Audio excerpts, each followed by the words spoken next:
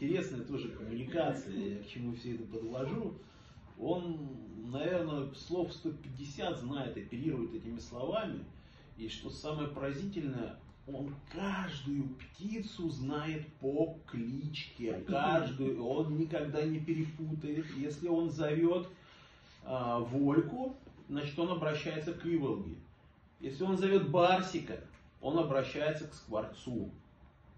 И он каждую, как он это знает? Он еще им звонит. Он говорит, «Тррр, Да, Алло, в последнее время он взял моду, отвечай. он копирует звонок телефона, он сидит, тр тр алло, Пудик, отвечай. Кодик, Пудик отвечай. отвечай, что ты, говорит, молчишь, Пудик? Че молчишь?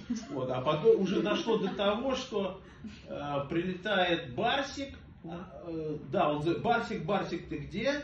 Барсик прилетает, Жора, я тут. То есть, и вот уже коммуникация идет, там с ума можно сойти. И птицы между собой ведут диалог. И ты всему, когда этому свидетель, это, да, между собой просто вот они ведут беседы. Это